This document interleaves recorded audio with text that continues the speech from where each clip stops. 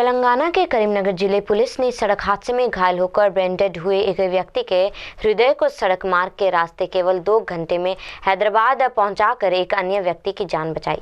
प्राप्त जानकारी के मुताबिक इस महीने की आठ तारीख को जगतियाल ज़िले के कोरटूर कोरुटल मंडल के चिन्ह मेठपली निवासी मैकल नवीन कुमार दुपहिया वाहन से गुजरते वक्त आरटीसी बस ने उन्हें टक्कर मारने से वह गंभीर रूप से जख्मी हो गए थे। इलाज के लिए उसे अपोलो रिच अस्पताल ले गया, लेकिन डॉक्टर ने नवीन को बचाने की अथक कोशिश की। शुक्रवार को ब्रेन डेड होने के कारण उसकी मौत हो गई। उसी वक्त जीवन धारा ट्रस्ट के आयोजकों ने हैदराबाद स्थित अपोलो अस्पताल में एक व्यक्ति को हृदय प्रत्यारोपण की ज़रूरत का पता लगाया, परंतु केवल दो घंटे के भीतर हृदय को करीमनगर से हैदराबाद पहुंचाना था।